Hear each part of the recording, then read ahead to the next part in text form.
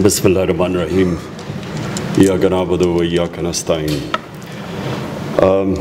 میں آج مجھے بڑی خوشی ہوئی یہ جو سٹارٹ اپس دیکھے مختلف بلوچستان سے خواتین جس طرح کے سٹارٹ اپس وہ لے کے آئے مجھے بڑی خوشی ہوئی اس لیے کہ یہ ہے ایک ملک کا فیوچر دیکھیں ابھی شبات نے بات کی، وہ راکٹ کی اور وہ جو فیلئر ہوا اور آٹھ ارب ڈالر گیا اور پھر انہوں نے پھر سے محنت کی ایک سال اور پھر راکٹ گیا اور پھر ٹیم ورک کی انہوں نے بات کی اور اکنالجنگ جو لوگوں نے محنت کی۔ دیکھیں، میں آپ کو ایک بات بتاتا ہوں۔ اللہ نے انسان میں وہ طاقت دی ہے، وہ ساری زندگی گزر جاتی ہے انسان چار پرسنٹ بھی اس طاقت پہ نہیں پہنچتا۔ اس لیے کیونکہ انسان ڈرتا ہے، خوف زدہ ہوتا ہے ایکسپیریمنٹ کرنے سے ڈرتا ہے فیلئر سے ڈرتا ہے کہ میری روزی چلی جائے گی۔ یہ جو یہ جو انہوں نے بات کی شبات نے۔ لوگ اصل میں ایک چیز یاد رکھیں، یہ خوف ہوتا ہے جو انسان کا پوٹینشیل نہیں نکلتا۔ کہ ہمیں پتہ نہیں چلتا کہ اللہ نے جب ہمیں اناؤنس کیا تھا کہ ہم اشرف المخلوقات ہیں، تو وہ اللہ نے جب فرشتوں کو کہا تھا انسان کے سامنے جھکو، اور اللہ نے کہا، جب وہ شیطان نے کہا کہ میں نہیں جھکتا، تو اللہ نے کہا، تمہیں بھی نہیں پتہ، میں نے اس انسان کو کیا نالج دیا طاقت دی ہے۔ تو وہ انسان کو بھی نہیں پتہ۔ اور ninety nine percent ninety nine point nine percent لوگوں کو اس چیز کا نہیں پتہ۔ تو یہ جو سٹارٹ اپس ہے، یہ بڑی امپورٹنٹ چیز ہے سمجھنے والی۔ یہ جو سٹارٹ اپ کا مطلب یہ ہوتا ہے کہ میرے پاس ایک آئیڈیا آیا اور میں پھر اس آئیڈیا کے پیچھے پڑا اور میں نے اس کو کامیاب کرنے کی کوشش کی۔ سارے دنیا کے جتنے بڑے کام ہوئے، وہ یہ آئیڈیاز ہی تھے جو کہ ایک آدمی لے کے، ایک سرفرا آدمی نکل کے ایک آئیڈیا لے لیتا ہے۔ اور پھر وہ آئیڈیا کو وہ کیسے کامیابی پہ پہنچاتا ہے؟ اچھے سے اچھے لوگوں کے پاس جو آئیڈیاز ہوتے ہیں، وہ کامیاب اس لیے نہیں ہوتے کیونکہ وہ راستے میں ہار مان جاتے ہیں، خوف زدہ ہو جاتے ہیں۔ لوگ کیا کہیں گے؟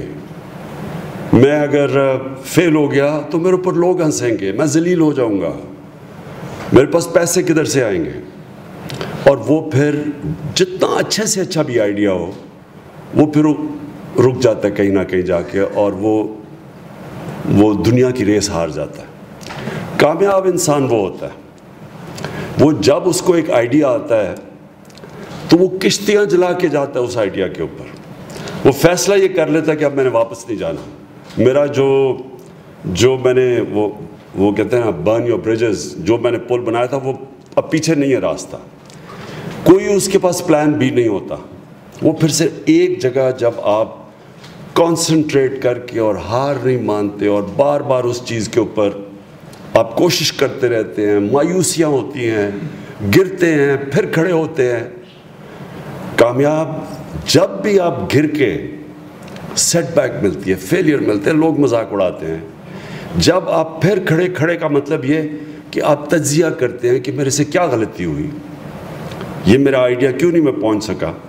وہ جو تجزیہ ہوتا ہے جس میں سول سرچنگ جسے کہتے ہیں، جب آپ پھر سے اپنی وہ جو غلطی ہوتی ہے اس کو دور کر کے جب آپ پھر پیروں پہ کھڑے ہوتے ہیں، آپ پہلے سے زیادہ تکڑے ہو جاتے ہیں، اپنی مشن کے قریب پہنچ جاتے ہیں۔ اور یہ مسلسل ایک پروسیس ہے جس کو سٹرگل کہتے ہیں۔ قرآن میں بھی اللہ کہتا ہے کہ میں تمہیں اتنا ہی دوں گا جتنی تم جد و جہد کرو گے سٹرگل کرو گے سٹرگل بناتا ہے ایک انسان کو۔ اور یہ جو ایک آسان راستہ لوگ لے لیتے ہیں، میرے پاس کئی آتے ہیں جی مجھے جی سرکاری نوکری دے دو۔ سرکاری نوکری دے دو۔ میں کہا، کیوں سرکاری نوکری چاہیے؟ بس جی پینشن لگ جائے گی، آئے گی، کام کرو یا نہ کرو کہ تنخواہ مل جائے گی۔ یہ جو راستہ ہوتا ہے تباہی کا راستہ ہے۔ اگر کسی انسان نے اپنا پوٹینشیل ختم کرنا ہے نا، تو بس آسان راستہ لے لو۔ جو بھی جو بھی جو بھی نماز پڑھتا ہے، اس کو یہی نہیں پتا کہ نماز میں مانگتا کیا ہوں۔ میں بڑے لوگوں سے پوچھتا ہوں کہ پانچ وقت کی نماز آپ پڑھتے ہیں۔ اب مانگتے کیا اللہ سے؟ آپ تو صرف پانچ وقت کی نماز میں ایک چیز مانگتے ہیں کہ اللہ ان کے راستے پہ لگا جن کو تو نے نعمتیں بخشی ہیں۔ کس کو اللہ نعمتیں بخشے گا؟ جو سب سے کامیاب انسان اس دنیا میں، ان کو ہی نعمتیں بخشی نا اللہ نے۔ وہ کون تھے؟ اللہ کے پیغمبر تھے۔ جو دنیا کی تاریخ کا سب سے کامیاب انسان ہمارے نبی صلی اللہ علیہ وسلم تھے۔ تو ان کی کسی کی آسان زندگی نہیں تھی۔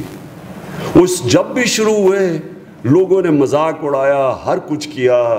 ان کے اوپر کیا کیا تشدد نہیں کرنے کی کوشش کی، سب پیغمبروں کے اوپر۔ کامیاب انسان ایک مشکل وقت سے گزر کے کامیاب ہوتا ہے۔ یہ جو فیری ٹیلز میں میں کہتا ہوں نا کہ ہیپلی ایور آفٹر یہ فیری ٹیلز میں ہوتا ہے۔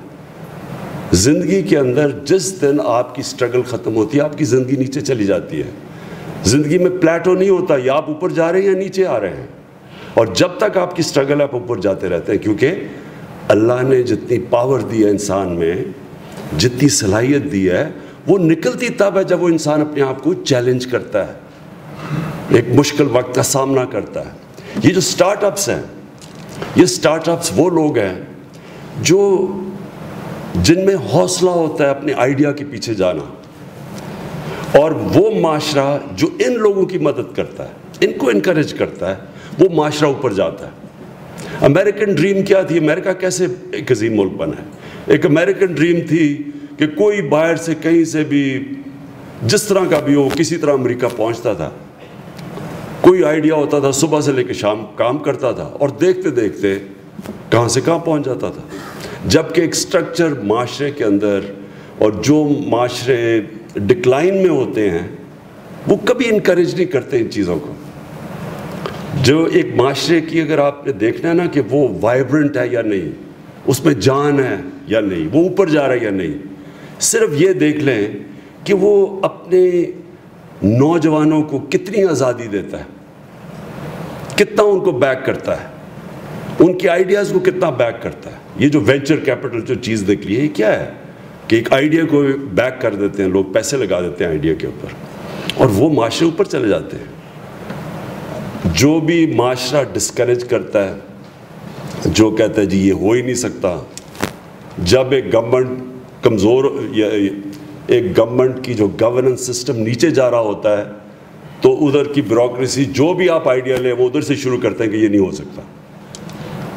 لیکن جب ایک اوپر جا رہی ہوتی ہے گورنمنٹ تو وہ آئیڈیاز کو سمجھتے ہیں بیک کرتے ہیں آئیڈیاز کو اور ایکسپیریمنٹ کرتے ہیں۔ اور پھر یہ ڈرتے نہیں ہیں۔ یہ یہ جو فیلئر سے ڈرنا ہے نا، یہ جو ڈرنا ہے کہ میں فیل نہ ہو جاؤں۔ یہ یہ کبھی آج تک کسی انسان نے بڑا کام کیا ہی نہیں۔ جو یہ ڈرتا ہے فیلئر سے۔ اس لیے قرآن کی آیت ہے۔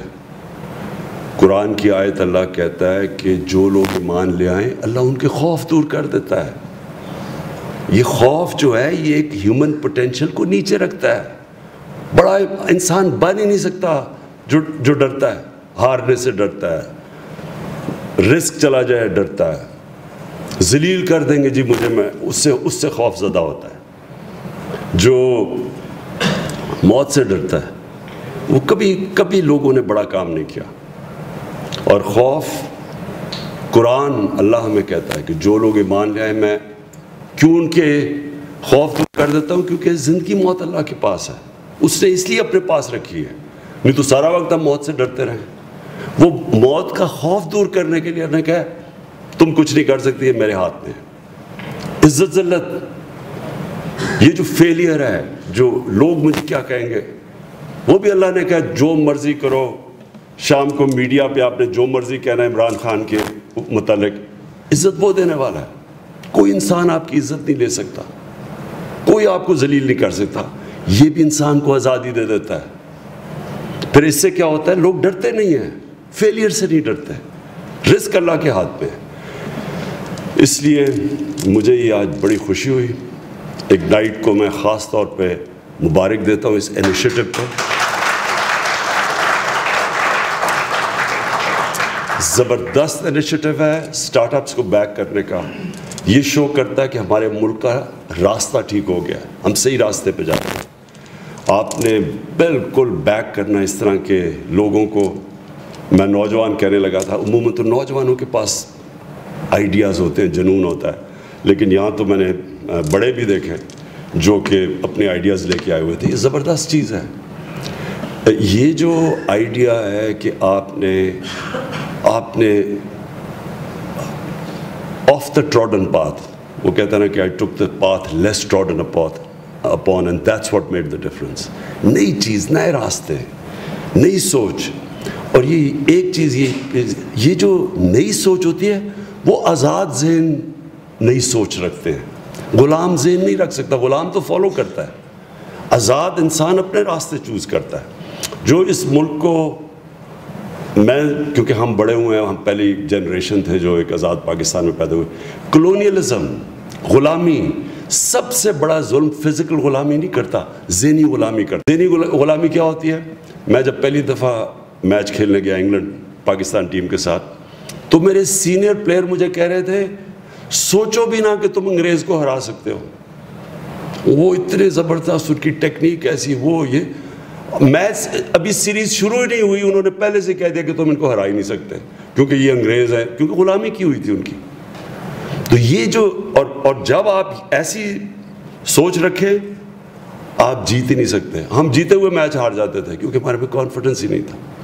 جو آزاد ذہن ہوتا ہے، وہی بڑے کام کرتا ہے، وہی اپنا راستہ چنتا ہے۔ اور وہ یہ جو ہماری اب یوتھ ہے، ہمارے پاس بڑے اللہ نے احساسے دیے ہیں۔ ہمارے پاس دنیا کے سب سے زیادہ سونے اور تانبے کی ریزروز ہیں۔ لوگ، لوگوں کو پوری طرح آئیڈیا نہیں۔ کوئلے کے ریزروز ہیں ریئر ارتھ منرلز ہیں۔ زرخیز زمین ہے ہمارے پاس پانی کا صحیح اگر آج ماڈرن استعمال کر لیں، ہمارے پاس تو پانی کی بھی کمی نہیں ہے۔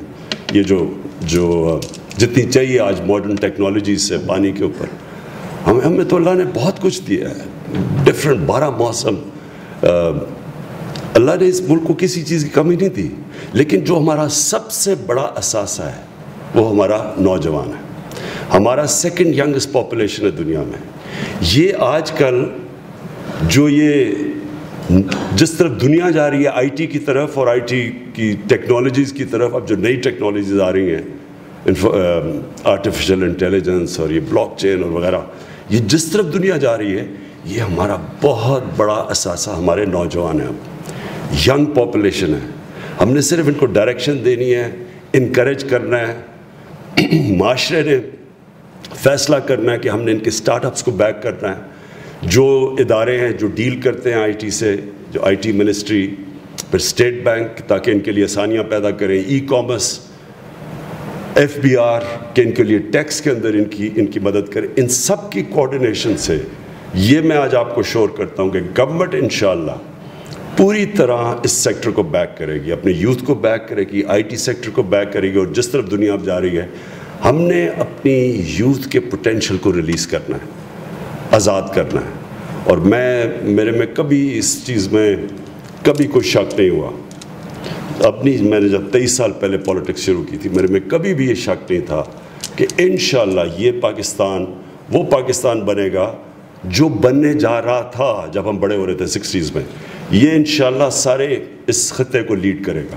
انشاءاللہ۔ شکریہ۔